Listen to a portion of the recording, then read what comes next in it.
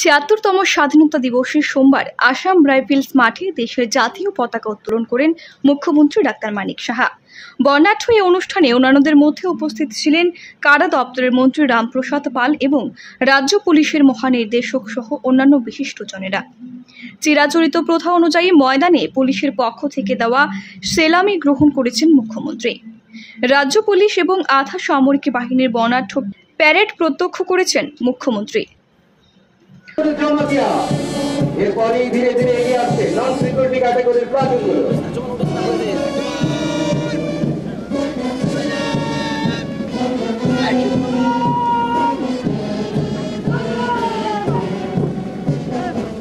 senior division boys and girls platoon নেতৃত্বে under officer Abhijit Mondal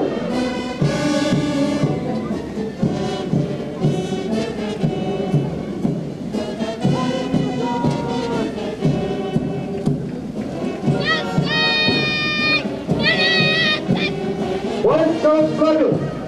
Let me the leader.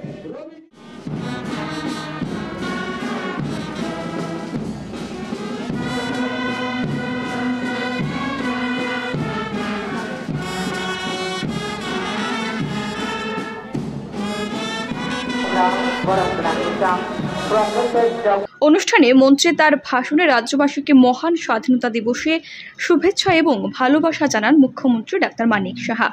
এই অমৃত মহোৎসব এবং স্বাধীনতার উৎসব রাজ্যবাসীর মধ্যে অমৃত রসের সঞ্চার করবে বলে উল্লেখ করেছেন তিনি। প্রিয় ত্রিপুরাবাসী, নমস্কার ছিয়াত্তরতম স্বাধীনতা দিবসের পুণ্যলগ্নে আমি ত্রিপুরাবাসী সহ আজকের এই সমাবেশে উপস্থিত সকল নাগরিকদের আন্তরিক শুভেচ্ছা জানাচ্ছি।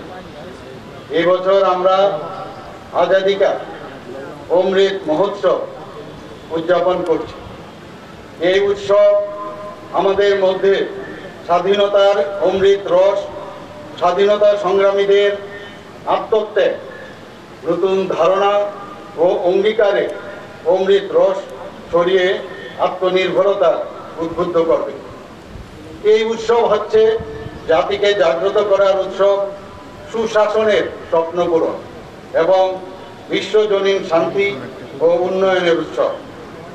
আজাদিকা অমৃত মহোৎসবে অঙ্গ হিসাবে স্বাধীনতা পঁচাত্তরতম বর্ষপূর্তিকে স্মরণ করে দেশের প্রত্যেক নাগরিকদের জাতীয়তা বোধ ও রাষ্ট্রবাদী চেতনায় উদ্বুদ্ধ করতে প্রতিটি বাড়িতে জাতীয় পতাকা উত্তোলনের জন্য হর ঘর তিরঙ্গা অভিযান সংগঠিত করা হয়েছে। দেশের জাতীয় পতাকা ভারতবাসীর আশা এবং অনুপ্রেরণার প্রতিনিধিত্ব করে। ভাষণে রাজ্যের উন্নয়নে বিজেপি সরকারের দিশা এবং আগামী দিনের পরিকল্পনা এবং ইতিমধ্যেই চালু করা বিভিন্ন প্রকল্প এবং যোজনা নিয়ে আলোকপাত করেছেন মুখ্যমন্ত্রী মানিক সাহা। মুখ্যমন্ত্রী জানিয়েছেন, শীঘ্রই প্রশাসনিক এবং অন্যান্য দপ্তরে শূন্যপদ পূরণের উদ্যোগ নেওয়া হবে। আমাদের জাতীয় গর্বের প্রতীক, বহু দশক ধরে আমাদের দেশের সমস্ত বাহিনী, বীর, জওয়ানগণ সহ বহু নাগরিক ত্রিবর্ণ রঞ্জিত পতাকার গরিমাকে সগৌরবে ঊর্ধ্বে তুলে আত্মবলিদান দিয়েছেন। আমি নিশ্চিত এই মহান উৎসবকে স্মরণ করতে প্রিয় রাজ্যবাসী সকলেই গত তেরো থেকে পনেরোই আগস্ট দু হাজার বাইশ প্রত্যেক বাড়িতে ব্যবসায়িক এবং সরকারি প্রতিষ্ঠানে জাতীয় পতাকা উত্তোলন করেছেন। আমি এই মহান সমারোহে আমাদের সশস্ত্র বাহিনীর বীর জোয়ান এবং রাজ্য এবং কেন্দ্রীয় সরকারের নিরাপত্তা বাহিনীর সকল সদস্যদের আন্তরিক শুভেচ্ছা জানাচ্ছি। যারা আমাদের স্থল, বায়ু ও সমুদ্র সীমানায় দেশের নিরাপত্তার কাজে নিয়োজিত রয়েছেন।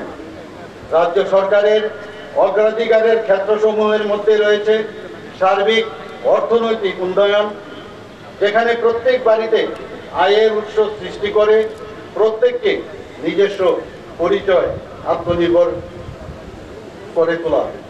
নীতি আয়োগের প্রকাশিত সর্বশেষ এসডিজি ইন্ডেক্স অনুসারে উন্নয়নের বিভিন্ন ক্ষেত্রে সাফল্যের নিরিখে ত্রিপুরা দেশের বিভিন্ন রাজ্যের মধ্যে আজ সামনের সারিতে রয়েছে। কেন্দ্র এবং রাজ্য সরকারের বিভিন্ন জনকল্যাণমুখী প্রকল্পের যথাযথ রূপায়ণের মধ্য দিয়ে রাজ্যকে মডেল রাজ্যে পরিণত করতে সরকার দায়বদ্ধ। রাজ্যের মহিলা সহ কৃষক কল্যাণ এবং সমাজের সর্বস্তরের মানুষের প্রতি বিজেপি সরকারের দায়বদ্ধতার কথা তার বক্তব্যে উল্লেখ করেছেন মুখ্যমন্ত্রী doctor Manik Saha. Bureau report, রাইজেস্ট news.